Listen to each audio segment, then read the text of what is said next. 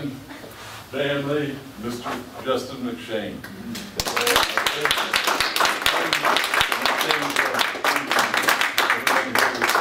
Thank you. I was supposed to introduce him. Well, okay, my name is Justin McShane of the McShane Firm. Uh, We're very happy and privileged to have this press conference to talk about uh, James Hugney and his nearly 36-year path sitting right here and being with us and being with his family and being with his friends.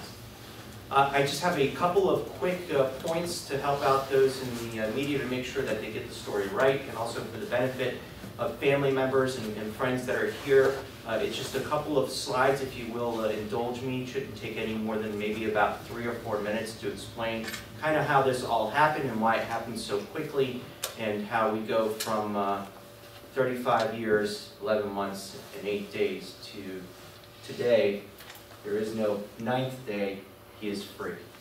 Um, So if you will, the first thing that we want to do, this is a picture up here of uh, all of us that were present uh, when he was released. Uh, And as you can see in here, um, we have a very special thank you that we want to make sure that we give out uh, to District Attorney Ed Marsico, and also especially to First Assistant District Attorney uh, Frank. Uh, Those two men were instrumental in this outcome. And this outcome was rather unique uh, in this area, and and also a way of making sure that everything turned out okay. And so what I wanted to do is talk a little bit about also uh, the people that helped to make this happen. We have many volunteer uh, pro bono attorneys. That means that our firm got paid zero dollars and zero cents to litigate this uh, matter, and a lot of uh, effort that was put behind it. And here are the attorneys that are responsible, and some of them are here today, uh, along with support staff from the McShane firm. We also would be remiss if we didn't talk about the Pennsylvania Innocence Project Melissa Bluestein, uh, who's their uh, legal director, and also uh, Milan and and Frank, who helped us out along the way, Frank being an intern, uh, who dedicated many hours, and, and this was eventually designated a Pennsylvania Innocence Project case. Uh, We also, one of, the way that we got here is, uh, I got involved with the case, um, and um, I looked at it, I remember I was at the American Academy of Forensic Science meeting, and I got all of the documents emailed. It took us over a year to gather all the evidence, to find it all from 1978 to 1979, to find all the transcripts, to find everything together and all the pictures and what was left. And uh, we finally all got it together um, as a firm. It got emailed over to me. I was at the American Academy of Forensic Science National Meeting. I just happened to be at the Fire Arson Investigation Subcommittee meeting, uh, and I looked at all of these, and I remember it hit me like a two by four in the head. I said, here's a man who's convicted and spending his life in prison, and there is absolutely no proof of arson here whatsoever. I was so terrorized in my heart at that particular moment that I knew no matter what, I could not let this go. And I told him, and I went up shortly thereafter, and I met with Mr. Hugney, very first meeting, and I said, uh, I'm gonna get you out of prison. I'm gonna get you out of prison. You are innocent, because he is innocent.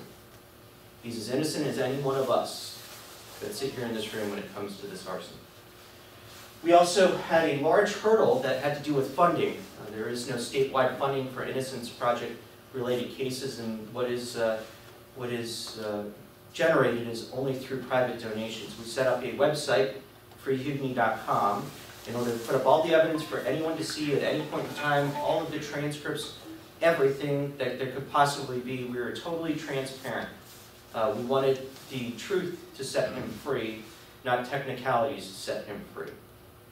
Then what we did is we went to a crowdfunding source called GoFundMe.com.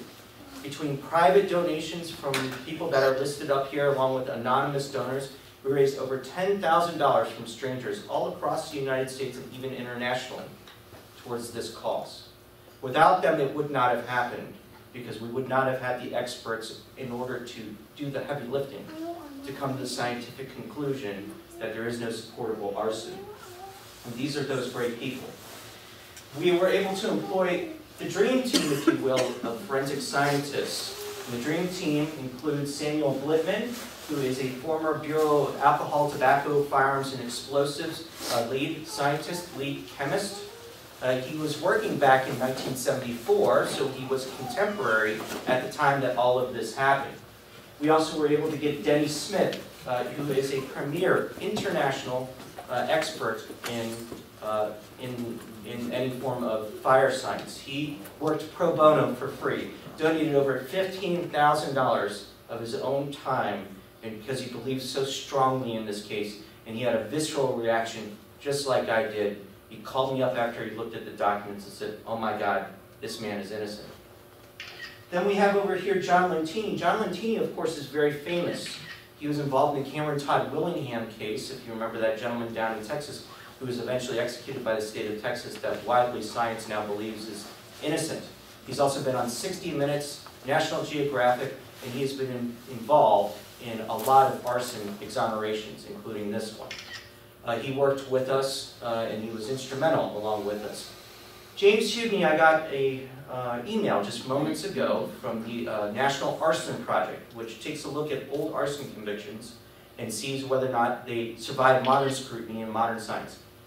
They confirmed today that he is the 31st person in the United States of America to be exonerated by way of science when it comes to arson. So it is a great day for science, for justice, for Jim Hugney, for all of us who live in this community and all of us who care about good and right things. This is, of course, the horrific fire that happened on August 20th, 1978, that this man standing next to me was convicted of. It's what we call a totally involved fire, which means that it was a structural fire that went to total and complete, almost destruction. This is another shot of what was left over after the demolition was done, uh, before the demolition was done during the uh, fire suppression moments afterwards. An aerial shot just to show you how truly devastated the area was uh, back in those days. And this, of course, is uh, Jim's son, who unfortunately deceased five days after this fire. And we, of course, pay great tribute to him because he is also an innocent person who lost his life in all of this. If we can also take a look at this, we can see the fire investigators that were on the scene at the time. And uh, what they did is and how they employed uh, forensic science at that time.